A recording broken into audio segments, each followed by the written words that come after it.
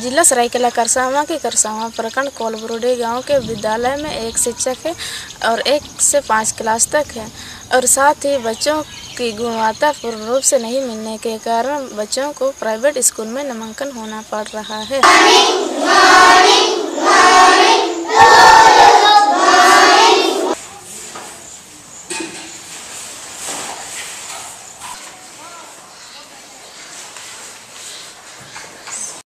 यहाँ स्वीकृति पद जो कुल दो है, अभी इस विद्यालय में एक ही कार्यरत पद पर मैं अकेले शिक्षक हूँ।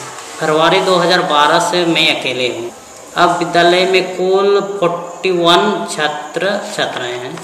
यो गाँव में तो टीचर एक ही तो है तो पढ़ाई ठीक नहीं हो रहा है इसीलिए कि शिशु मंदिर में लड़का को दिए हैं, अब बढ़िया से पढ़ाएगा बोल के विद्यालय में अकेले होने के कारण बहुत सारे परेशानियाँ उठानी पड़ती है।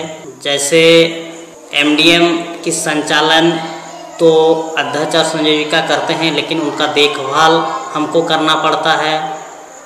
और मासिक गुरु गोष्ठी होती है, जिसमें हमें विद्यालय बंद करके जाना पड़ता है।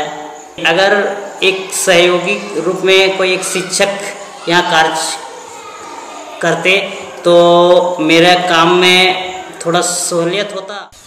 इस समस्या को दूर करने के लिए मैं आप सभी दर्शकों से अपील करती हूँ कि करसामा प्रखंड शिक्षा प्रसार पदाधिकारी का नाम Vaidyanath Pradhan, mobile number nine four three zero three seven nine three six four पर कॉल कर दबाव बनाए ताकि हमारे गाँव के बच्चों की पढ़ाई बाधित एवं प्रभावित न हो और गाँव की विकास हो। मैं सिनी बुड़ियोली सरायकेला करसावा झारखंड इंडिया अनट के लिए